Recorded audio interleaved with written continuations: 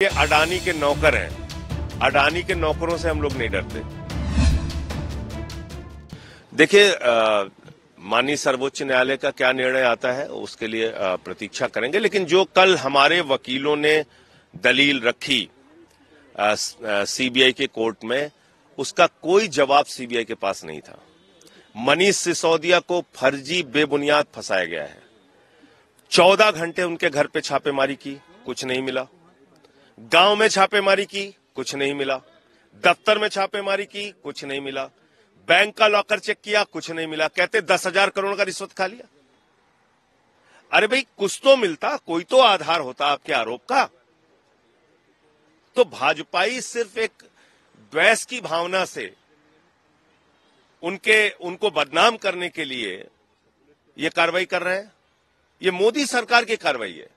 ये सीबीआई की कार्रवाई नहीं है। ये तो मोदी जो कहते हैं सीबीआई को, वही करती है सीबीआई तो इसलिए आज अरविंद केजरीवाल की सरकार की लोकप्रियता से, उनके शिक्षा मॉडल से, मनीष सिसोदिया ने जो लाखों बच्चों के लिए काम किया उसके कारण से परेशान होकर ये कार्रवाई की गई है। तो इसलिए देखिए, पूरी उम्मीद है और आने दीजिए, फैसला आने दीजिए। भाई, ये जो शराब नीति है, इस पे 14-16 संशोधन के बाद एलजी ने मंजूरी दी है। उनसे पूछताछ क्यों नहीं हो रही है एलजी से? एलजी को भी बुला के पूछताछ करो, उन पे भी एफआईआर करो, अगर ये पॉलिसी गलत है तो उनसे पूछताछ नहीं हो रही है। ये सवाल है। देखिए, अभी मैं आपको सिर्फ़ इतना कहना चाहता हूँ कि विपक्ष का कोई नेता घर के बाहर दिखे तो आश्चर्य कीजिएगा। जेल में है तो कोई खबर नहीं है। ये तो भाजपाइयों का काम हो गया।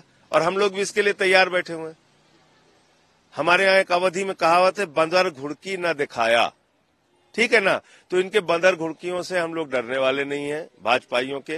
ये लोग कायर, ये भारत की राजनीति के सबसे कायर लोग हैं। और ये अडानी के नौकर हैं। अडानी के नौकरों से हम लोग नहीं डरते। उनको कार्रवाई करने दीजिए। आज लालू यादव को सम्मन भेजा, सोचिए, वो बीमार होके इलाज करा के छह महीने बाद आ रहे हैं, उन पे तुम नोटिस भेज रहे हो। मीसा यादव को नोटिस भेज रहे हो।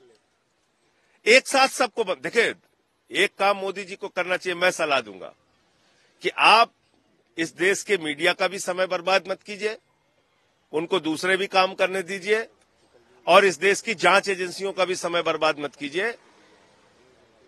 आप एक साथ सारे विपक्षी नेताओं को गिरफ़्तार करके जेल में डाल दीजिए। छुट्टी हो जाए। रोज आपको कैमरा लेके दौड़ना पड़ता है, खबर चलानी पड़ती है, यहाँ पकड़ा, वहाँ नोटिस, ये, वो। अरे, खत्म करो ना, बवाल। आप इस देश के महाराजा हो, सबको गिरफ़्तार करके जेल में डाल-